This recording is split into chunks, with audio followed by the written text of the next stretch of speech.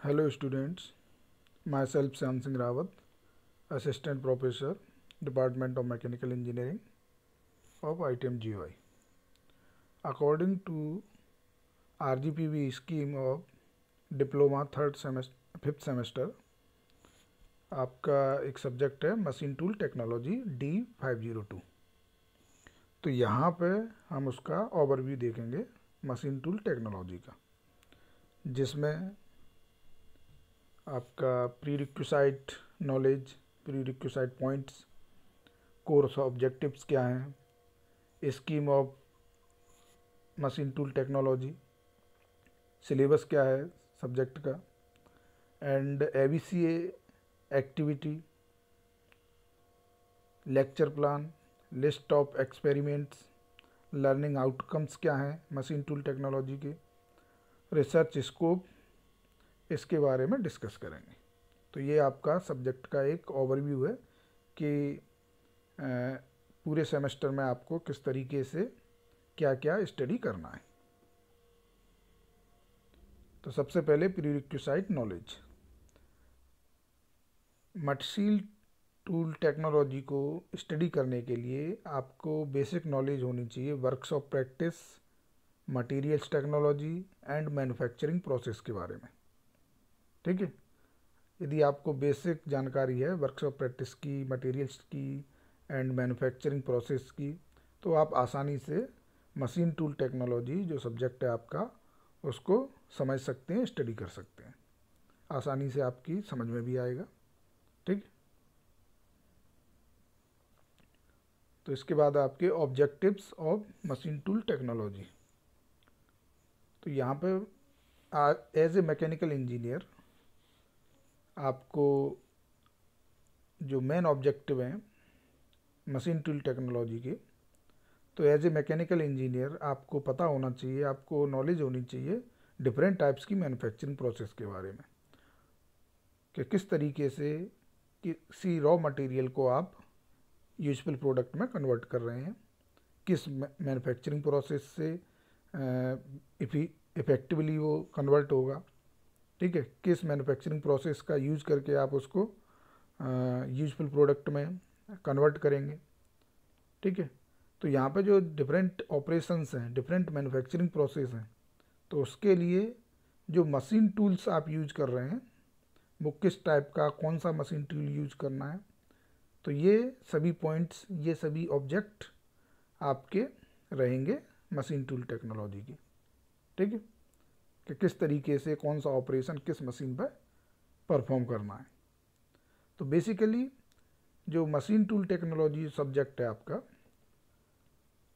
उसको स्टडी करने के बाद एक तरीके से आप मैन्युफैक्चरिंग प्रोसेस का सिलेक्शन करना, दूसरा किस मशीन टूल के थ्रू वो मैन्युफैक्चरिंग प्रोसेस या जो ऑपरेशन है वो परफॉर्म होंगे, ये आप आसानी से कर सकते हैं।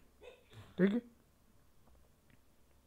तो सबसे पहले introduction of machine tool technology machine tool technology के अंदर जो भी आपकी मैन्युफैक्चरिंग प्रोसेस है, उसके अकॉर्डिंग अपन देखें कि मैन्युफैक्चरिंग प्रोसेस क्या होता है? रॉ मटेरियल से यूजफुल प्रोडक्ट में कन्वर्ट करना। ठीक है? तो डिफरेंट टाइप्स की मैन्युफैक्चरिंग प्रोसेस है। आपकी कास्टिंग है मेटल कटिंग है फॉर्मिंग प्रोसेस है वेल्डिंग प्रोसेस है। तो इन सभी का यूज़ करके या कोई भी एक प्रोसेस का यूज़ करके आप रॉ मटेरियल से यूजफुल प्रोडक्ट में कन्वर्ट करते हैं। ठीक है? तो यहाँ पे मशीन टूल टेक्नोलॉजी के अंदर जो मेटल कटिंग वाला पार्ट है, वो मैन्युफैक्चरिंग प्रोसेस आपका यहाँ पे आता है। ठीक है? वहाँ पे क्या होता है? मटेरियल को आप कट करके मटेरियल को रिमूव करके, जो भी रॉ मटेरियल है, जो भी प्रोडक्ट है उसको आप डिजायर्ड शेप एंड साइज़ में लाते हैं। ठीक है? तो वो ऑपरेशन आपका क्या कहलाता है? मेटल कटिंग तो ये मैं आपकी मेटल कटिंग मैन्युफैक्चरिंग जो प्रोसेस है, उस मैन्युफैक्चरिंग प्रोसेस के जितने भी ऑपरेशंस हैं, वो आपके यहाँ पे मशीन टूल टेक्नोलॉजी के अंदर आप स्टडी करेंगे। ठीक है? जैसे टर्निंग ऑपरेशन है, जो कि लेथ मशीन पर परफॉर्म होता है, या आप सुपर फिनिशिंग ऑपरेशंस कहें वो आपकी ग्राइंडिंग व्हील्स या ग्राइंडिंग प्रोसेस के थ्रू परफॉर्म होता है। ठीक है? या गियर मैन्युफैक्चरिंग करें। ठीक है? तो वो आपका मिलिंग ऑपर मिलिंग मशीन पे या सीपर मशीन पे परफॉर्म होता है या गियर हॉबिंग मशीन पे परफॉर्म होता है। तो इस तरीके से डिफरेंट टाइप्स की मशीन्स यूज़ होंगी। तो उन्हीं मशीन्स के बारे में आपको स्टडी करना है कि क्या मशीन है। ठीक है? और उसके क्या क्या पार्ट्स हैं, किस पार्ट्स का क्या फ़ंक्शन है वर्किंग एंड कंस्ट्रक्शन उसका, कितने टाइप्स की मशीन रहती हैं, और किस तरीके से वो वर्क करती हैं, और कौन कौन से ऑपरेशन उस मशीन पर परफॉर्म कर सकते हैं। ठीक है?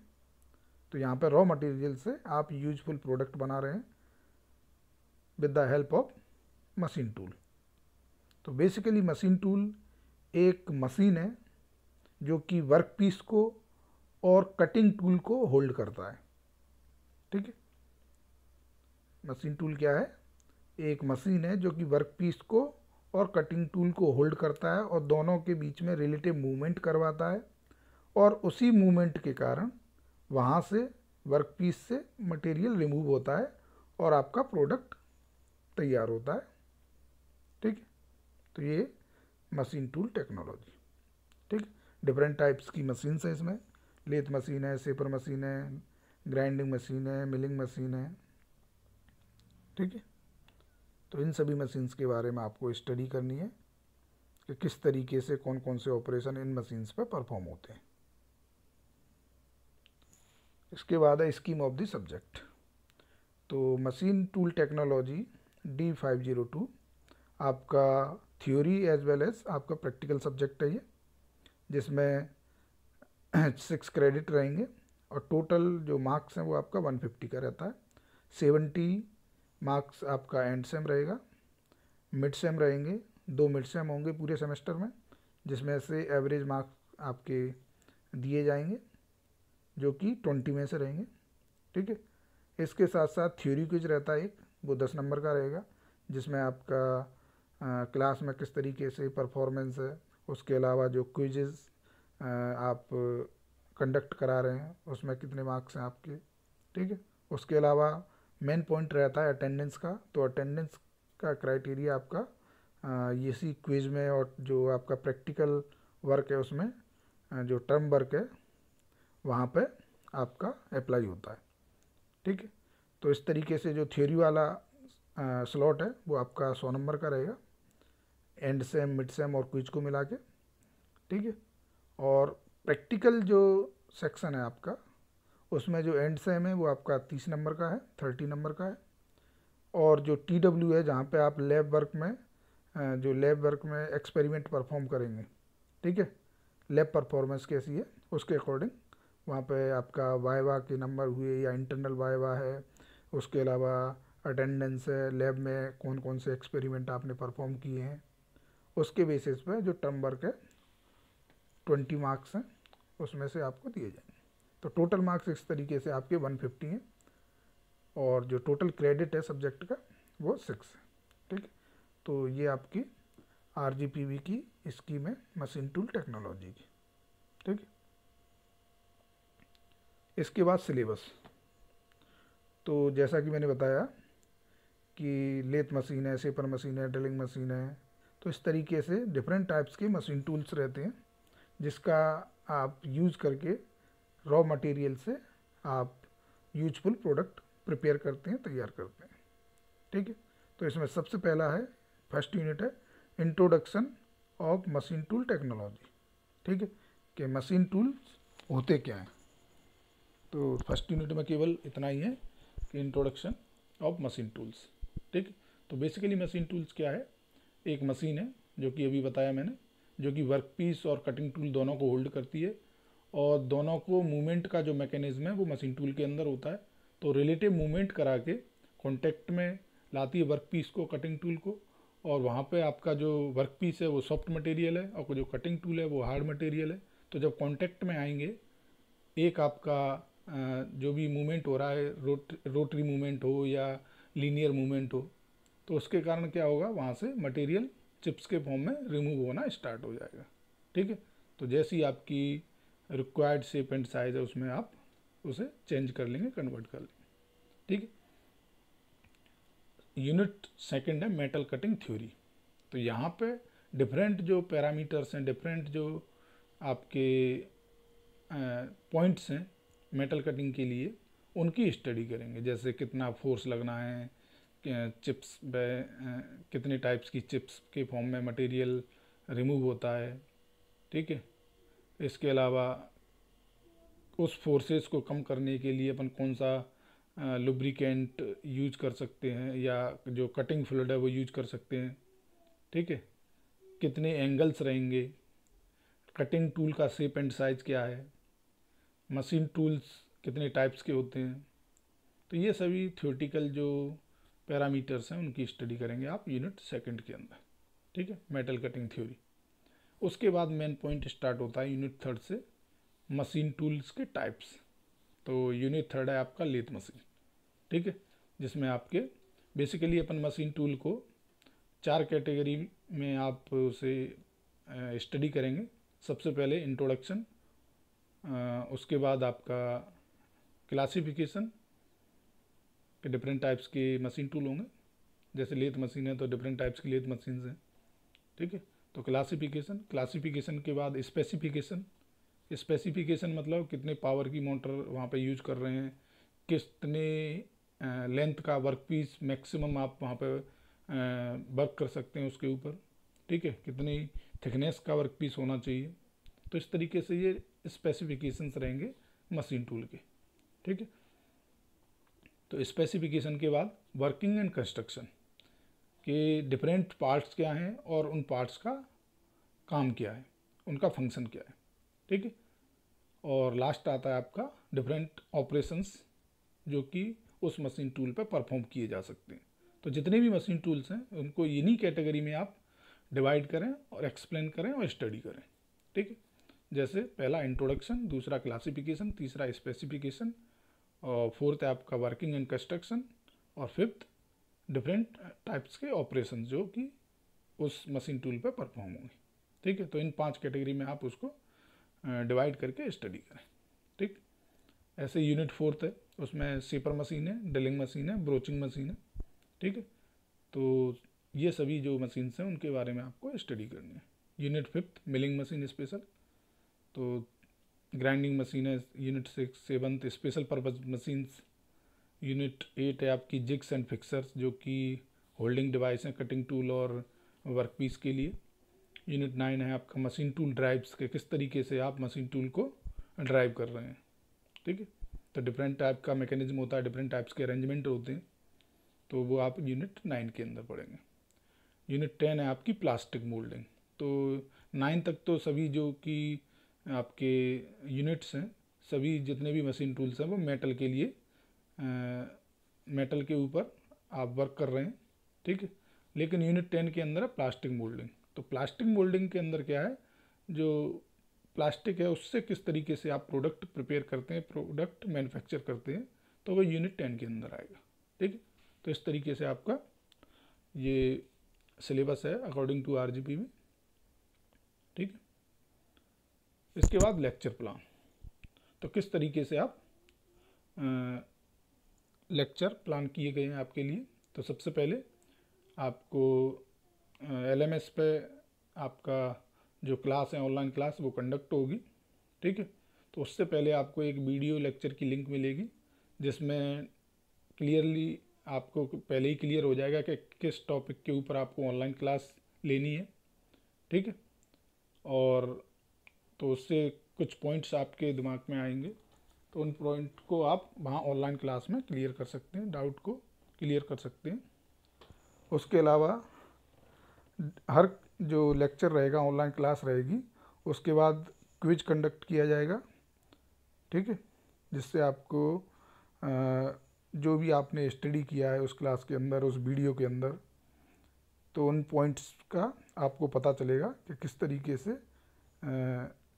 जो वीडियो है या जो ऑनलाइन क्लास है, उससे आप स्टडी करेंगे ठीक है? ऐसे ही हर क्लास के बाद सॉरी हर यूनिट के बाद आपको एक असाइनमेंट दिया जाएगा, या कहें वीकली असेसमेंट होगा, ठीक है? जो कि क्विज रहे हैं आपके हर लेक्चर के बाद, ऐसे ही आपका हर यूनिट के बाद आपको असाइनमेंट दिया जाएगा, ठीक है? और हर यूनिट स्टार्ट होने से पहले डिफरेंट ट्यूटोरियल्स दिए जाएँगे, जो कि आपको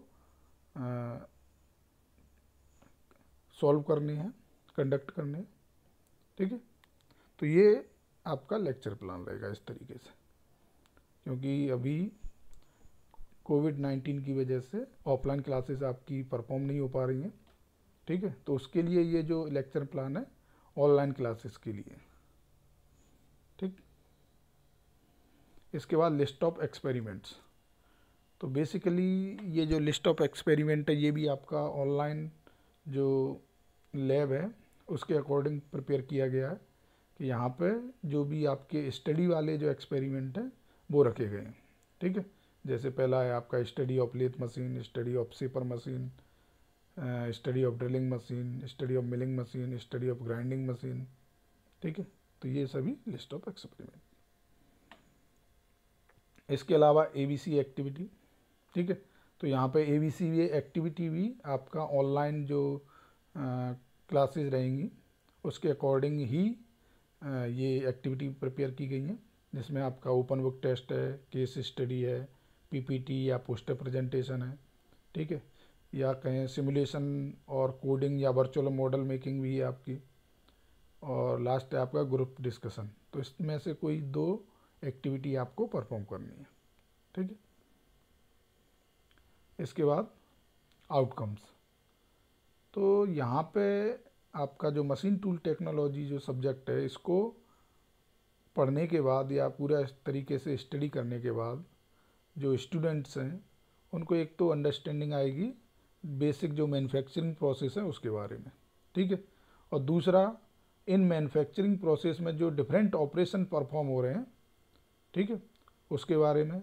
और जो ऑपरेशंस आप परफॉर्म कर रहे हैं, वो किस मशीन्स के थ्रू आप यूज़ कर रहे हैं?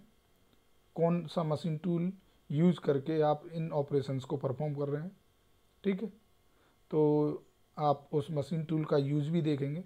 आसानी से आप उसको देख सकते हैं। कोई वर्कर उसको यूज़ कर रहा है तो वो सही तरीके से कर रहा है कि नहीं कर रहा? ये सभी चीज़ें आपके आसानी से समझ में आएँगी। ठीक? तो ये आपका इस सब्जेक्ट का आउटकम्स है। रिसर्च इसको नए नए मैन्युफैक्चरिंग प्रोसेस डेवलप करना एडवांस मैन्युफैक्चरिंग प्रोसेस इम्प्रूव करना या डेवलप करना मॉडर्न मशीन टूल्स डेवलप करना। ठीक? है क्योंकि आजकल जो एडिटिव मैन्युफैक्चरिंग है, उसमें बहुत काम हो रहा है या जो एडवांस मॉडर्न मैन्युफैक्चरिंग प्रोसेस हैं ठीक है? तो कुछ ऐसे नॉर्मल जो आपके ऑपरेशंस हैं, वो तो कन्वेंशनल जो मशीन टूल्स हैं, उस पर परफॉर्म हो जाते हैं। लेकिन एडवांस या एक्यूरेसी ठीक है? या कोई हार्ड मटेरियल है, उसकी मशीनिंग करना है तो उसके लिए आपको एडवांस मैन्युफैक्चरिंग प्रोसेस या एडवांस मशीन टूल्स के ऊपर जाना होता है। ठीक है? तो ये नए नए आपके रिसर्च स्कोप हैं। ठीक है? मैन्युफैक्चरिंग प्रोसेस या मशीन टूल को इम्प्रूव करना। ये डिफरेंट रेफरेंस रेफरेंसेज आपके रेफरेंस बुक्स हैं। Workshop practice by Swarn Singh element of workshop technology Hazra Chaudhary M P Groover है। इसके अलावा आपकी मैन्युफैक्चरिंग इंजीनियरिंग एंड टेक्नोलॉजी कल्पक जयान है। ठीक है तो ये डिफरेंट रेफरेंस ठीक है तो यहाँ पे एक ओवरव्यू देखा आपने कि किस तरीके से मशीन टूल टेक्नोलॉजी के अंदर आपका क्या स्टडी करना है आपको, उसके क्या आउटकम्स हैं ऑब्जेक्टिव्स क्या हैं, ठीक है? और क्या एक्सपेरिमेंट हैं एक्टिविटी किस तरीके से, कौन सी एक्टिविटी आपको सेलेक्ट करनी है, ठीक है? तो ये सभी जो पॉइंट्स हैं, ये सभी पॉइंट्स आपको स्टडी करने हैं इस सेमेस्टर के अंदर, ठीक है? Okay thank you